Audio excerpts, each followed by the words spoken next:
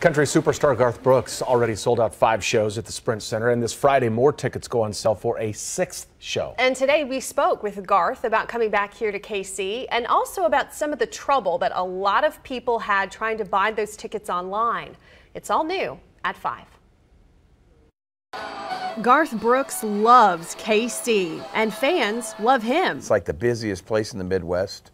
And uh, yeah, it's crazy to think in a blink of an eye, 10 years have gone since opening the Sprint Center and now returning to it. After 10 years, Garth will return to play at least six shows, but the first five were tough to get a ticket to.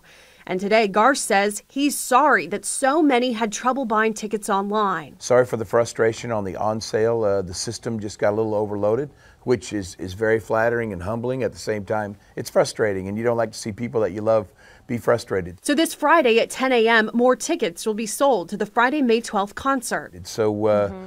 Got a bunch of uh, comments on social media that everything just kind of froze. That was the word we kept seeing. So uh, we're going to go to the next weekend now, and we're going to uh, start with Friday and uh, just see what happens there. And who knows? Maybe he'll add even more shows depending on demand.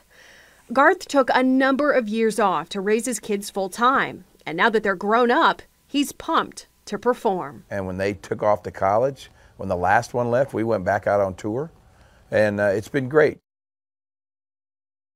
And now one of his daughters is pursuing her own music career, but he says he doesn't put any pressure on her and that she actually has to succeed and fail on her own, which I think is pretty good advice. That's pretty good parental advice, so, and I'm pretty sure he's a pretty awesome dad yeah, as well. Yeah, and to take 10 years off of yeah. touring to raise your kids, that's pretty amazing. But yeah. he knows that he couldn't have done it without the fans, of course, too. He is dedicated. That's cool. Mm -hmm.